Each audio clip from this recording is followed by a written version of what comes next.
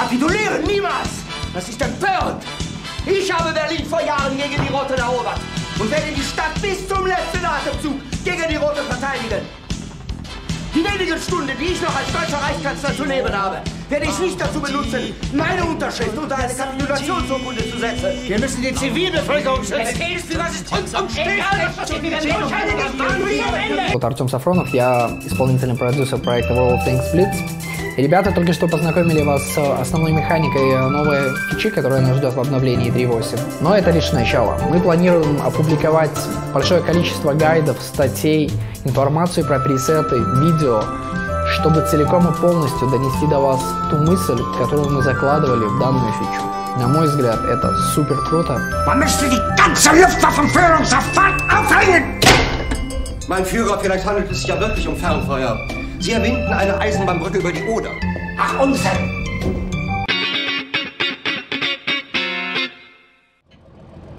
はい、用意スタート。いつにも増してやる気がないですね。あ、もうちょっとイケボが良かったはい。用意スタート。そういう意味じゃないんだよな。つうわけで、今回乗っていくのは、日本ティア級抽選車。TYP61 なぜかタイプと呼んでくれない英語姉貴。基本性能をドン。さて、戦後初の国産戦車こと61式の性能を見ていきましょう。車体走行はもちろん紙走行、傾斜込みでも100ミリ分しかありません。あ、えっと、うん、そうですそうそう。61式で前に出すぎるとどうなるのか、プロゲ君が実証してくれましたね。わかりやすい例を目の前で出さなくていいから。話を戻しまして、砲塔ももちろん紙走行、そしてクソデカキューポラのせいで隠蔽率も最悪。これサイズが間違ってるらしいので、運営さん修正まだですかね？と、ここまでならただのクソ雑魚抽選車ですが、注目すべきはここから、まず飛行には、STB と同じ 105mm 砲を装備。もちろん史実では 90mm ですが、ブリッツでは 105mm を詰めます。なんといっても DPM はメシと装填棒で3041と、ティア級トップクラス。精度も良好、貫通もいいし、司法性能は文句のつけどころがありません。たまに調子に乗ってきたティア銃を返り討ちにできるもんね。次に注目すべきは視界。強化すれば最大313メートルに。そう、今までゲーム内1位の視界を保有していたのですが、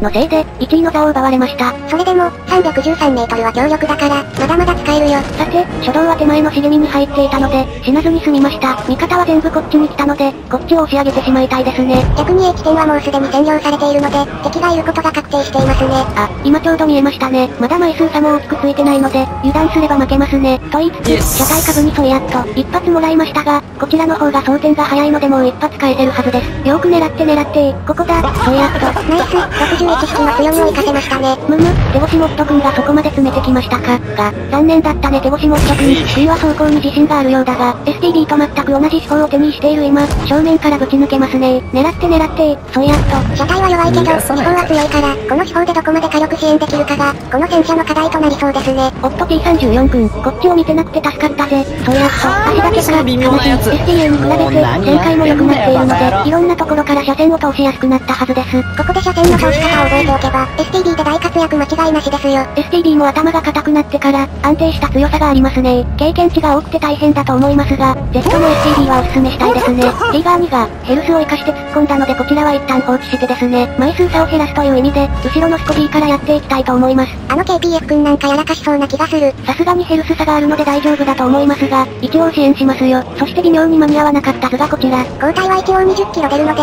飛び出し打ちは楽に行えると思います。